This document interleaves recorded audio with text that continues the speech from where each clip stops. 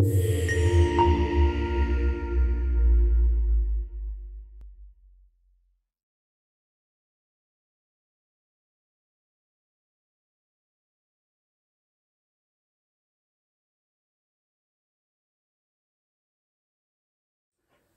my name is Manish Raghavan, and today I'll be talking to you a bit about uh, AI and employment discrimination. So, many of you may have seen stories like the ones here, stories about how AI is increasingly being used in hiring, how it might potentially be a force for good, but at the very least, it's shaping the way that, uh, the way that we hire in practice. Now, you may have also seen examples like the one here, uh, examples of software or AI that purports to analyze video interviews and recognize people's emotions, look at the tone and cadence of their speech, perhaps their language patterns, their choice of words, and use that to form an evaluation of how good an employee they'll be.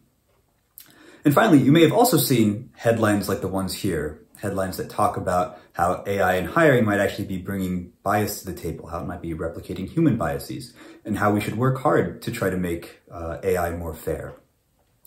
And my goal today will be to try to disentangle all of these narratives and help you sort out uh, what it would really mean to use AI in hiring or what it currently does mean to use AI in hiring uh, and how people are trying to think about and mitigate issues of bias and discrimination. So that's going to be our plan today. We're going to start by looking at uh, why we should expect to see bias, uh, where this bias comes from, and how it might propagate to algorithms. We'll next take a look at how AI is being used in the context of hiring, uh, and we'll take a look as well at what steps people are taking to try to mitigate uh, its effects in terms of bias and discrimination. Uh, and finally, we'll take a quick look at what the regulatory landscape looks like, how regulation might be changing going forward, and, and what those changes might mean uh, for AI and for hiring, and particularly for questions of discrimination. So let's begin by taking a look at why we should expect to see bias uh, in the context of hiring.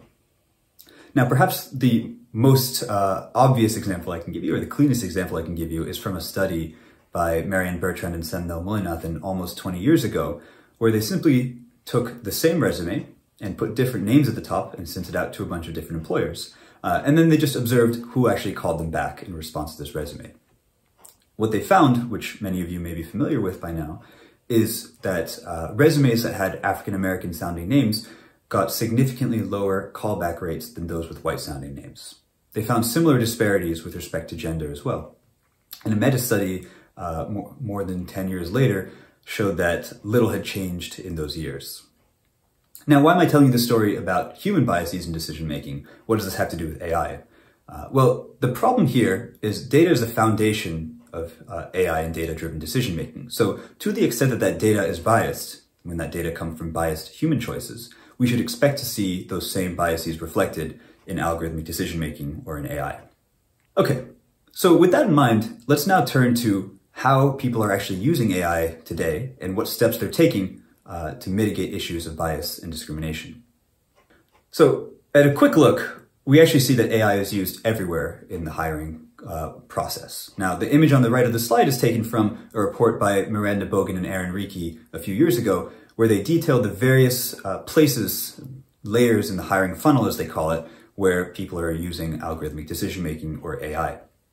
Now, these layers include things like sourcing, which is where an, how an employer uh, gets different applicants to apply to their job opening, uh, to screening, which is how an employer decides who to interview of those applicants, to the interviewing process itself, and finally to selection, background checks, and making offers, and so forth. Now, there are a lot of different uses of AI uh, throughout this funnel, as I said. Today I'll be focusing on three particular uses and, and we'll walk through them together. So the, we'll, we'll be considering advertising, search, and assessments. Let's begin with advertising. So your traditional conception of job ads, uh, job advertising, might be something like an employer puts an ad in a local newspaper people apply, maybe calling the phone number or faxing in their resumes. Uh, but of course, that's not how job advertising works today. Now, in general, advertising is everywhere, especially all over the internet. And this has actually afforded a lot of new possibilities for employers to get their job postings out there. Uh, now, there are two features of online advertising that I think are particularly salient, particularly when it comes to questions of discrimination, uh, and we'll walk through them here. So these are targeting, which is uh, how an employer can determine who they want their job ad to go to. Perhaps they select certain characteristics, a uh, person with certain interests, and so on. And in addition to targeting, we have optimization, which is how this larger, broader algorithmic uh, advertising ecosystem uh, determines allocations and outcomes, right? So who ultimately sees what ad? Uh, it has to do with competitive market forces. It has to do with optimization and targeting and all these things put together uh, that turn into some emergent results, which are actually quite hard to characterize. Um, now, the case that I think is quite relevant to consider here is uh, Department of Housing and Urban Development uh, versus Facebook, which was settled a few years ago. Uh, essentially, the, the, Department of Housing and Ur Urban Development alleged that Facebook had allowed for discriminatory advertising practices. Uh, and as part of the settlement, Facebook was required to remove certain options from that targeting. So uh, things like targeting ads for jobs based on demographic attributes, uh, that option had to be removed from Facebook. What this didn't address, though, is questions of optimization. Uh, for instance, suppose that it costs more to advertise to one demographic group than another, just on average. Uh, we should expect to see, uh, the way that these current systems are set up, we should expect to see fewer job ads going to that group simply because they cost more to advertise to. Now, is this discrimination and who's responsible? These are hard questions and we don't have answers yet. But these are, this is part of the conversation uh, that's going on today and hopefully we'll have better answers in the coming years. The next uh, example I'll give you is of search. And this is the process by which uh, a recruiter might reach out to applicants who seem qualified for the job. Now, this takes place largely on platforms like LinkedIn, Monster, and Career Builder, and so on today. So, for instance, if I search for a product manager in the San Francisco Bay Area on LinkedIn, I might get a, a set of results that looks like this. But of course, there's no reason that LinkedIn had to show me these four particular people. They could have showed me a, a totally different set of other people. Uh, so exactly how does LinkedIn make that determination? As with many of the applications we're talking about here, it is data driven, uh, and there's some AI or algorithm on the back end that is making this decision uh, for them. And of course, that data that it's based on, perhaps who uh, who recruiters have interacted with in the past, who they've reached out to uh, as a signal of, of quality, can also be biased because we believe uh, recruiters' decisions, and, and, we have evidence to believe that recruiters' decisions uh, can be biased.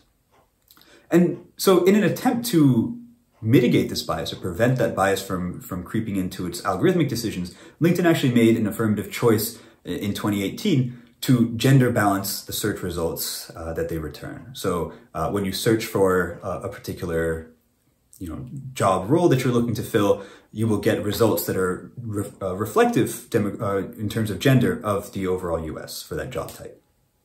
Now, they didn't have to make this change. It was a, step that they decided to take. It is also not the only thing they could do. For instance, they haven't, uh, they're unable to really take any action with respect to things like race, uh, largely because they don't really have that data in general. But the point being, uh, algorithmically, there are many steps that we can take to try to mitigate bias, and it has to start with a recognition that those biases exist in the first place, and that the, the biases uh, of human recruiters can propagate, if unchecked, into the algorithms that we then build on top of them. The final example I'll give you uh, is of assessment. And so this is how employers decide which of their applicants they actually want to interview. Now, many of the algorithms used in the space are what we might call resume screening algorithms, where they take in someone's resume and they determine whether they pass the filter or not. But more and more, we're starting to see these more complex applications uh, where algorithms are taking in things like video interviews, uh, as the one that I showed you earlier, or perhaps people's gameplay or a questionnaire. And these uh, pieces of, of input are then algorithmically evaluated to determine who might be best suited for a job. And then, you know, this example that I've given you on, I've shown on the right here, uh, speaks to a numeric uh, evaluation in terms of different traits or competencies, for example. Now, again, where do these evaluations come from? How do they know who's a good employee or not? All this is based on data and, and based on human judgments and decisions. And if, as is becoming the theme here, we might expect that to the extent that they are built on human choices, uh, they might reflect bias and discrimination that humans bake in. And so in response, a lot of the vendors in the space are trying to actively de-bias their algorithms. Uh, I'll, I'll, give you one common technique uh, that I've seen used in practice, and it's the following. Uh, an employer will, or, or vendor of a tool will build a model, build some AI system, but before they actually deploy it, they'll, they'll test it. They'll see, does this create significant outcome disparities? Does it you know, treat, uh, appear to have different outcomes for, for men and women or people of different races? Uh, and if it does, they'll actually go back into the model and try to tweak it, remove the things that seem to be contributing to those disparities, uh, and iteratively repeat this process until they reach a model that they're satisfied with. Now, this isn't the only technique that you could use here, but it is one example of how people are trying to actively mitigate the amount of bias and discrimination uh, that creeps into the tools that they're building. Now, the final thing I'll, I'll turn to before we go is uh, the question of regulation, because uh, traditionally, discrimination law has been the thing that protected us from biased uh, and discriminatory decision making. Uh, but of course, discrimination law is imperfect and it's not necessarily well suited to apply to algorithmic tools. So what might regulation look like in the future and, and what uh, solutions or regulatory approaches have people proposed? Uh, I'll give you three examples here, uh, with the caveat that these are not the only three examples in this space. Now, the first is informed consent, uh, and we've seen this in Illinois with a, a, a law that they passed uh, requiring uh, notice and consent for using video analysis in, in interviews. Now, the notice and consent model is nice in that you know we'd like to be informed, we like to know what is being done with our data, but at the same time, it does put the burden uh, on the applicants themselves, and it doesn't really address these root causes of bias and discrimination that we see. Uh, the second approach that I've seen is one of safe harbors, where regulators will try to define a set of best practices, and as long as employers adhere to these best practices, uh, they will have some, they'll be shielded from liability to some extent. Uh, the, the benefit here is that it encourages people to adopt these best practices, but of course there's a downside that we don't quite know exactly what these best practices are yet. Right? We're still learning, and, and this field is still young.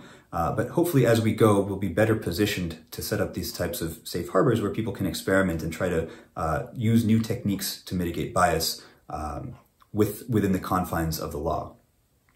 The final approach that I'll mention to you is mandatory auditing. And, this was recently implemented in a bill that, the, that New York City passed last year, um, where they require that, uh, that algorithms used in the context of hiring be audited for the uh, for the purpose of discrimination uh, every year. Now, this, of course, it sounds it sounds nice. We would like to know be, before these tools are even deployed whether they might produce discriminatory outcomes. Uh, but of course, auditing is quite hard. It's it's hard to standardize exactly what should go into an audit, uh, and this makes it difficult to to ensure that it's not set up in a way that is uh, favorable to the employers in general.